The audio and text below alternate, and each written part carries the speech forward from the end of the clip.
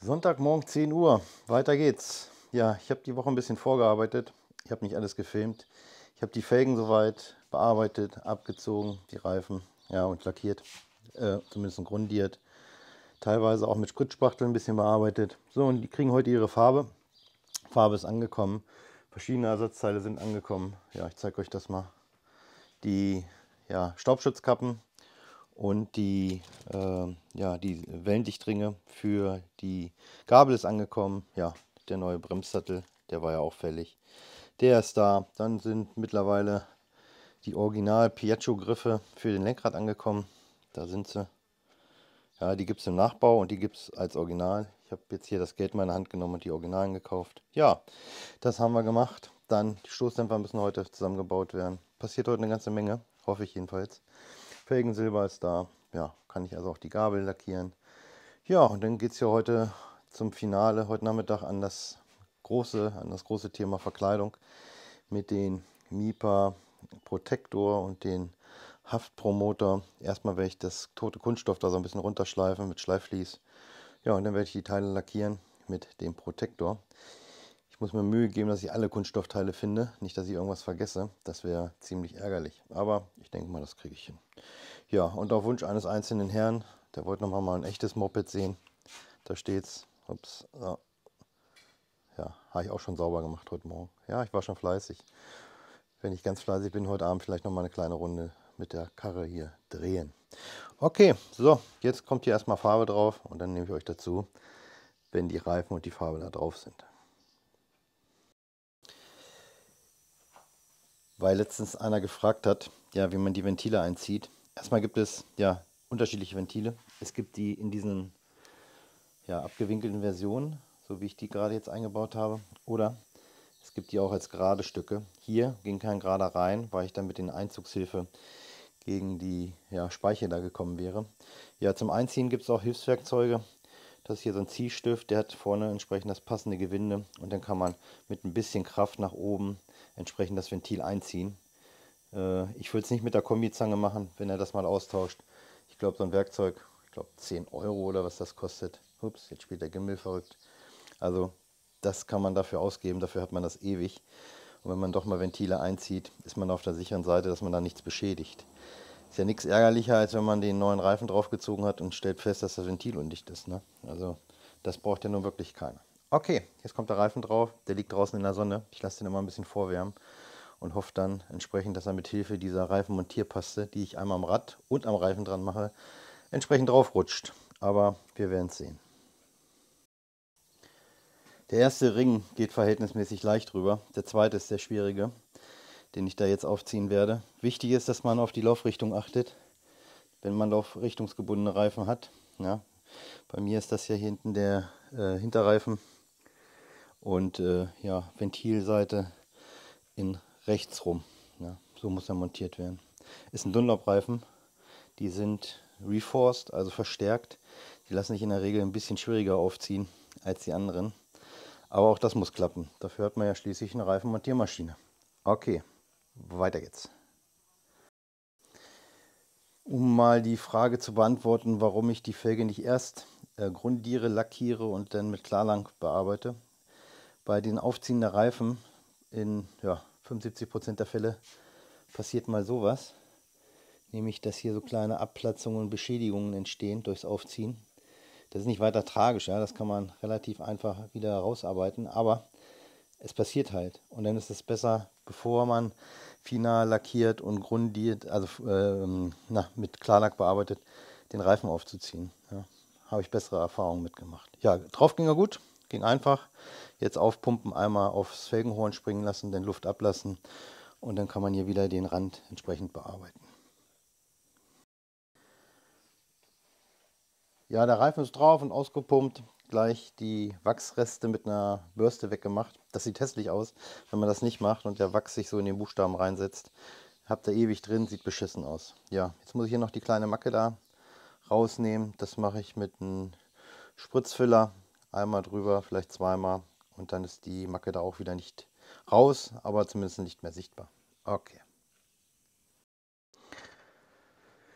So, ja, bauen wir den Stoßdämpfer zusammen. Die Ersatzteile sind ja da, die beiden Dichtungen, Staubkappe und Wellendichtring. Ja, der Wellendichtring, da merkt man jetzt wirklich deutliche Unterschiede. Der ist hier noch, ja, so wie Gummi sein sollte und nicht so ausgehärtet wie der andere. Ich habe den leider mittlerweile schon weggeschmissen. Ja, ich habe mir überlegt, ich werde den hier normal eintreiben. Äh, ich denke mal, aufgrund der, ja, des guten Gummis kriege ich den mit so einer Nuss entsprechend hier reingetrieben. Die passt hier genau auf den Rand. Ja, ich habe mir auch überlegt, ob ich das vielleicht mit einer Gewindestange von unten eintreibe. Ja, hier eine Gewindestange durchziehe und dann das probieren gerade durchzuziehen. Aber ich denke mal, mit Einschlagen wird das funktionieren.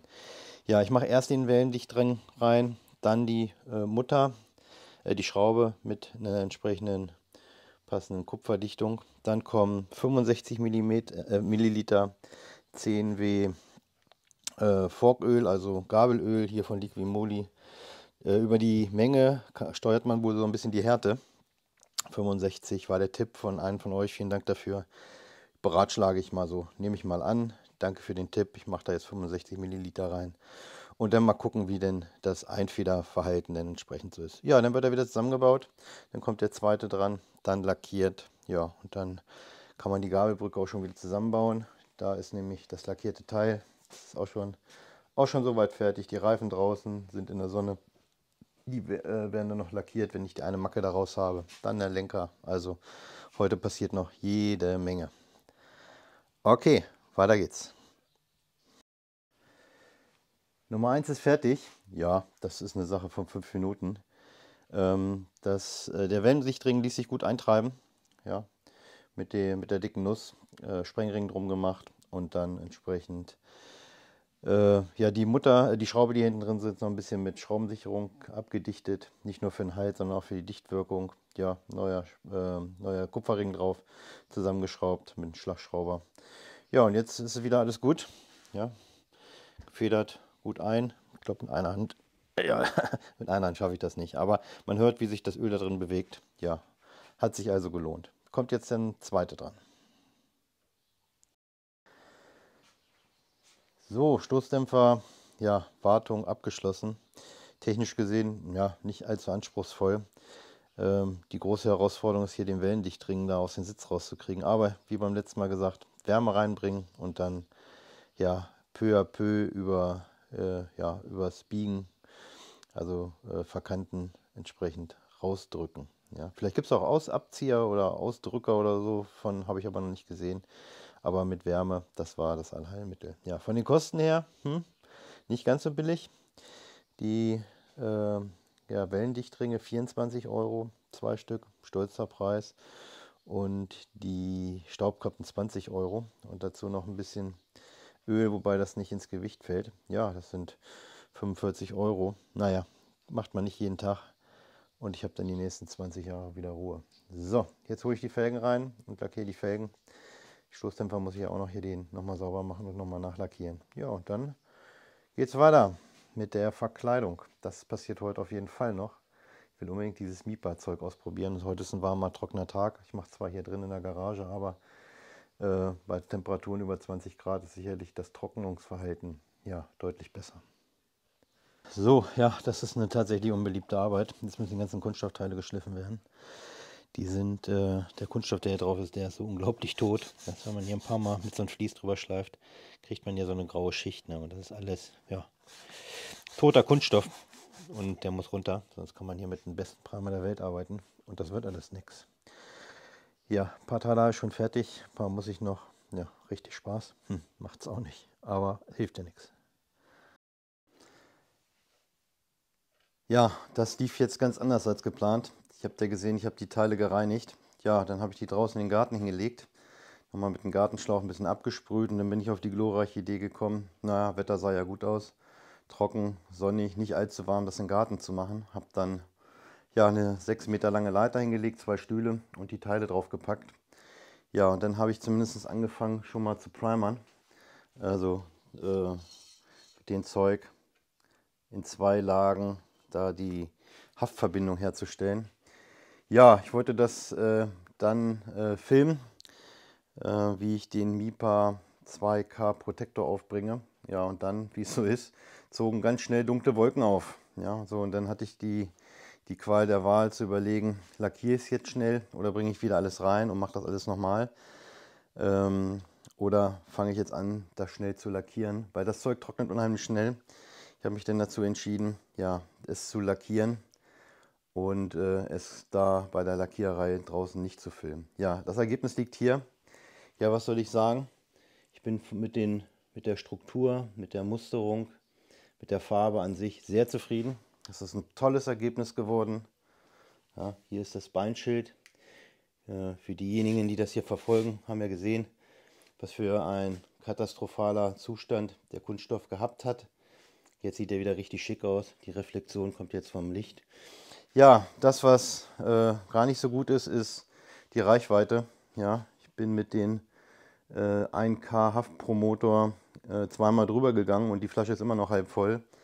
Und das äh, ja, Protektorzeug unheimlich schnell alle. Also ähm, ich brauche wohl noch, also noch eine weitere Flasche. Ich hätte gedacht, mit einer bin ich äh, für die paar Kunststoffteile gut unterwegs. Bei Weitem gefehlt. Also wenn ihr das macht, bestellt die doppelte Menge von denen, die ihr denkt, die ihr braucht. Ja? Wenn ihr sagt, oh Mensch, mit einer komme ich hin, bestellt zwei. Und wenn ihr zwei braucht, bestellt vier. Ja, wie lässt sich das Zeug verarbeiten? Ähm, es ist zwar in einer Lackierpistole und wird auch entsprechend in einer Lackierpistole ausgeliefert, äh, hat aber mit einer Lackierpistole überhaupt nichts zu tun. Das ist mehr wie so ein ja, Druckspüler und äh, hier werden Abstände bis zu 70, 90 cm angegeben. Je weiter man mit dieser ja, Kartusche, mit der, äh, mit der Sprayflasche weg ist, desto feiner wird die Struktur. Ähm, wenn man zu nah rangeht, ja, dann passiert folgendes. Auch das zeige ich euch. Ja, dann gibt es hier so eine hässlichen Flecke. Ja, dadurch, dass ich das Teil oder dadurch, dass ich ja noch weitere Teile äh, mit MIPA bearbeiten muss, ist das jetzt hier nicht so schlimm. Also ich werde das wegschleifen. Ich werde zumindest probieren. Das ist Polyurethanlack. Also dieser Polyurethanlack wird zum Beispiel bei der US Army angewendet, um ihre Hammer zu lackieren. Ja? Und die sind Biowaffen- und säurefest. Also das Zeug ist bombenfest und bombenhart. Ich hoffe, dass ich es hier irgendwie trotzdem noch ein bisschen runtergeschliffen kriege. Ja, also die drei Teile, die da liegen, die muss ich noch machen. Flasche ist bestellt.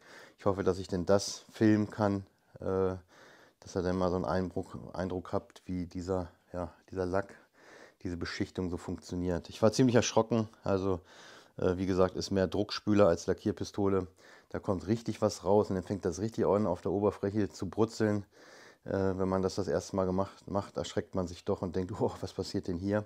Aber der, ja, die, die Beschichtung ja, gibt ein, gibt dann denn, ja, den Erfolg zurück. Ja, und dann freut man sich, dass es denn so aussieht. Ja, tiefes, sattes Schwarz, einfach Bomberergebnis. Okay, ja, das soll es davon jetzt erstmal gewesen sein. Äh, oder hier nochmal ein kurzes Update nochmal zur Felge. Die habe ich gestern nochmal lackiert. Ich habe die erste in diesem Presto Silber lackiert. Ja, das sah billig aus, muss man ganz einfach sagen. Mit dieser Felgenform und das Silberne da draus. Naja, das hatte mehr so China-Roller-Style und deswegen habe ich mich jetzt hier für so einen Effektlack von Dupli Color entschieden. Das ist so ein bisschen mit Eisenglimmer drin. Das macht das ein bisschen ja, ein bisschen edler, die Felge. Ja, also, das soll es jetzt aber wirklich gewesen sein. Die Tage geht es weiter mit dem Zusammenbau. Rahmen drauf. Vorderfelge, äh, Vordergabel ist ja auch fertig. Die, die hängt hier. Einmal nochmal zwei Grad Klarlack drauf. Und dann kann ich das wieder zusammenbauen. Ja, an euch nochmal ein Dank für die neuen Abonnenten. 800 Abos haben wir jetzt. Freue ich mich. Hoffentlich geht es so weiter, dass wir bis zum Jahresende die 1000 knacken. Bis dahin macht es gut und lasst einen Daumen da.